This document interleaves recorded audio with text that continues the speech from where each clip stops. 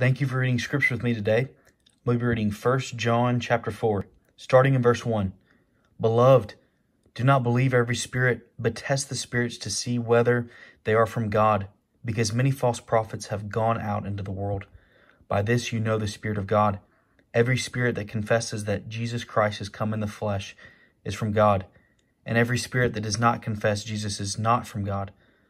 This is the spirit of the Antichrist, of which you have heard that is that it is coming, and now it is already in the world. You are from God, little children, and have overcome them, because greater is he who is in you than he who is in the world. They are from the world, therefore they speak as from the world, and the world listens to them. We are from God. He who knows God listens to us. He who is not from God does not listen to us. By this we know the spirit of truth and the spirit of error. Beloved, let us love one another, for love is from God, and everyone who loves is born of God and knows God. The one who does not love does not know God, for God is love. By this the love of God was manifested in us, that God has sent his only begotten Son into the world so that we might live through him.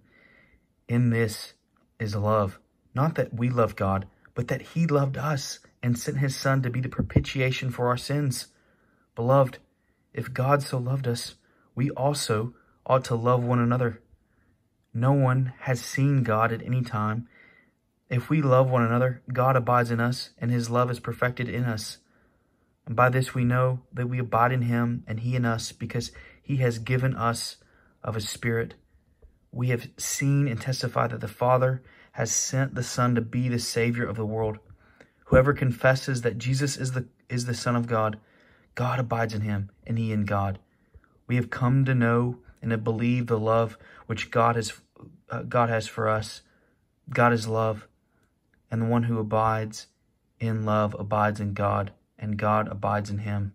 By this, love is perfected with us, so that we may have confidence in the day of judgment, because as he is, so also are we in this world.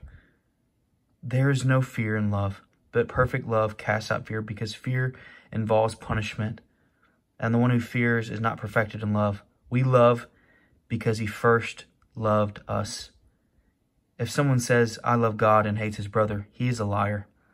For the one who does not love his brother, whom he has seen, cannot love God, whom he has not seen. And this commandment we have from him, that the one who loves God should love his brother also. This is God's word. And remember, only what is done for Christ will last.